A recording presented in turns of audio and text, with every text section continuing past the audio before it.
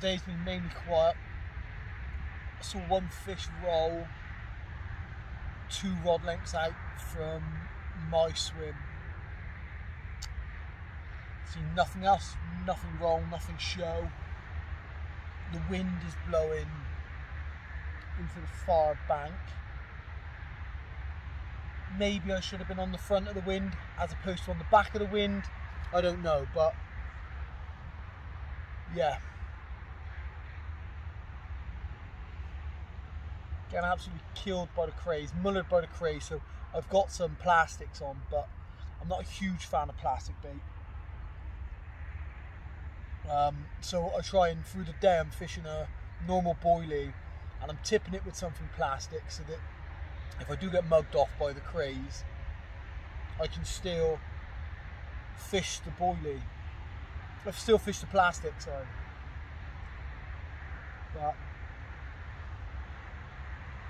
yeah, slow going. Not a show, nothing to fish to.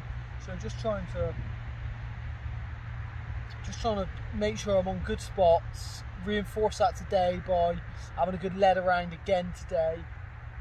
Make sure I'm on good spots, spots I'm happy with, because when I'm leaving those rigs out there, if I've got if I've got naturals on, then I'll, uh, I'll, I'll sorry, like you know, like boilies or something, or like pop ups. You know, I'll leave them out four to six hours, and then they'll be done by the crays usually. So if I've got plastics and I'm leaving it out 12, 16, 18 hours, and I'm not seeing signs of fish, I just want to be happy that where I'm fishing, I'm happy with the spot at least. Even if I blank, if I'm happy with the way that I've leaded it, the drops that I've got, the way that my cast went, you know, I'm I'm relaxed. I can just think that sometimes the fish just aren't on your swim. So yeah, I've just been trying to do that today. Focus on learning this lake. It's my second session on this lake. Um, I'll do my full winter campaign here. I've got a, a couple of dates booked on other lakes, but this is this is my campaign lake. I'll do everything here now. So yeah, just learn the lake. You know, like uh, fish each swim, try something different. Every time I come, I try and get on the fish, but if I can't get on the fish, or you know, just try and fish the best practices that I can. Really.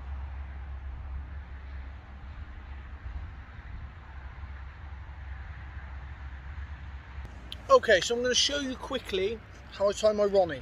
Okay, Ronnies are obviously super simple, really easy to tie, one of the easiest rigs, very versatile. Um, I like to use my Ronnie with a stiff rig and uh, could be stiff braid and stuff, but yeah, I like to tie it a certain way because I don't like crimps. I know they're stronger. There's no good messaging saying like, oh, crimps are stronger. They're much. I get it. They are. Yeah, I just don't like crimps on my rig. I don't like I don't like metal on my rig really. I don't like metal metal metal connections. I just don't. I'm, I don't know why. Maybe because I'm old-fashioned and I've never used them. I never used to use them. I've got Korda crimps and stuff. I just don't use them. I don't like it. And I've landed big fish on this rig that I'm going to show you. So it's just a Ronnie. We're not like reinventing the wheel or anything. I just tie it a bit differently. So I like to use um, stiff material. One of the two that I use, I use a, a ThinkLink or a Recoil. Um, I, I just really like these. You can use a boom or whatever whatever it is that you want to use.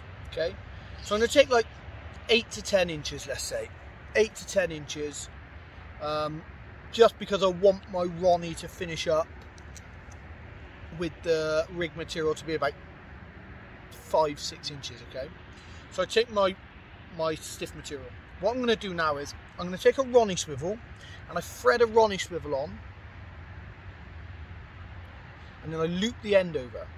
So I've now got that Ronnie is on a loop and it's about two inches long. So, so the Ronnie's on a loop there, it's about two inches long. So then what I do is I get the Ronnie and I tie, that with an overhand loop. So the loop this through becomes an overhand loop and I thread the Ronnie uh, swivel back through the loop. So I thread the Ronnie swivel back through, like so. So the Ronnie is within the overhand loop now. I And I make sure it comes up nice and tight so the loop isn't massive. But if you look, my Ronnie swivel is within the loop. So I've tied an overhand loop and the Ronnie swivel is just sat on that loop. Okay, pull that all nice and tight. Cut off my tag end, like so. And then, what I'm going to do is, I get my hook, and previously when I set up, I just slide my rig, my um, heat shrink just onto my hook, just to sit it on there. You know, it's just it's not shrunk or anything. It's just sat on there for for safekeeping. And then I thread obviously my Ronnie swivel onto my hook, like so. Heat tubing goes down over and sits about where it's going to end. There. Slide a swivel on, like so, and then grab a little uh, hook bead and slide a hook bead on to stop the uh, swivel this is where you know it, it's a, a Ronnie's a Ronnie a Ronnie. You know this is nothing different. The only thing that I've done different is the loops, and it's only my loops that are different. I slide this on. We're now just um, yeah, we're now we've just put together a bog standard Ronnie rig, but there we go. It's just a bog standard Ronnie rig. Okay, and uh, on the other end, I take a normal swivel and I attach a normal swivel and sometimes this end I'll use a perfection loop um, or I'll just do exactly the same. Just an overhand loop with the swivel going back through the loop like so. Boom, boom, and that goes on there. Lovely jumping so pull them both ends really tight. It's nice and tight. Cut that off. Boom. And then for neatness and to finish that off a tiny bit of tungsten tubing or I'm fishing a water at the moment is riddled with crayfish so I do put um, a shot on as well. Um, and I have started to like that just putting a shot on the um, on here but I put just a bit of tube uh, tungsten putty just around this knot of the loop depending on what I'm going to be using. Like so and that there is my Ronnie rig. So it sits within the loop that I tied it through the bog standard loop the Ronnie sits there. I'll shrink all that down make it all nice and tight and then of course you can see it's just got so much freedom to move. When I get a take the rig has got 360 degree movement through the swivel and through that little loop. I prefer this than um, than tying on with a with a normal knot. Um, and because I don't use a crimp, I need that loop, and that's how I get it. And then now I have obviously a, a tied Ronnie with loops both end. And that is how I tie my Ronnie rig.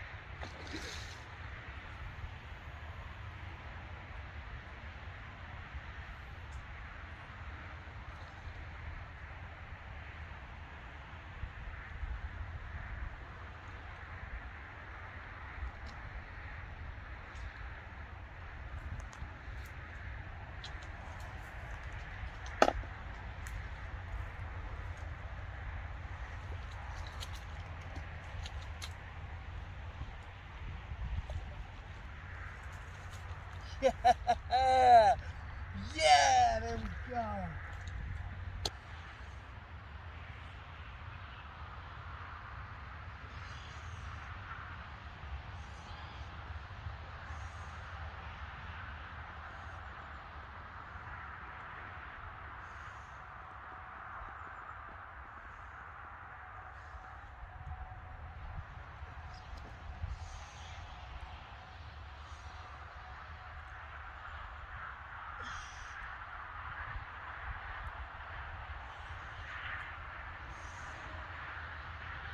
go. 22 pound.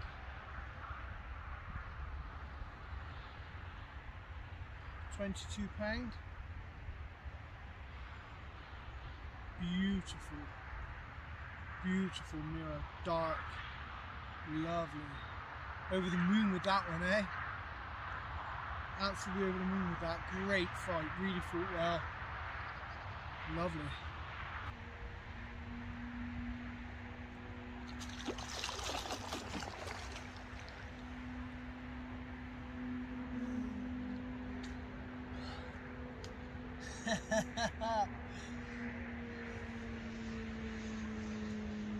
Lovely.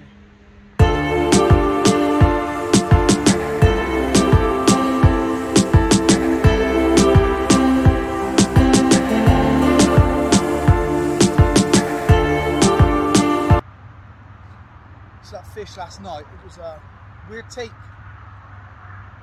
No screaming run.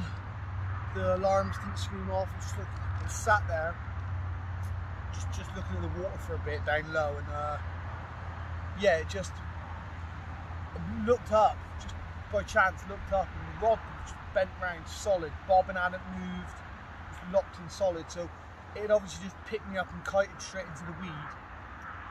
I mean, it was only bent, right? It probably moved four or five inches, but it was solid.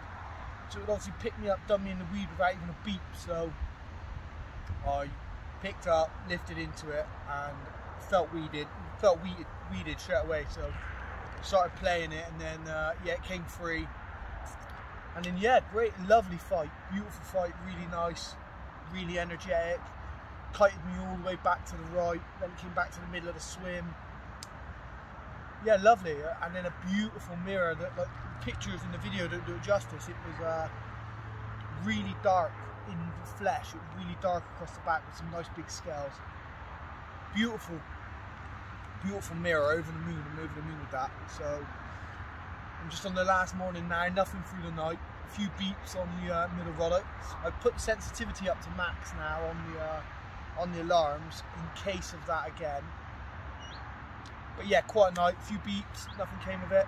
And then, uh, yeah, so nothing this morning. But I'm all prepped up. I'm, I've got up, I've only got a couple of hours left. I just got up in the morning, everything in, everything was done by the crays, even some of the plastics had been done. So, redone everything. I've got all pop ups and uh, wafters on now, nothing plastic, because I'm only going to fish for the next two and a half hours or so. So, they're all out.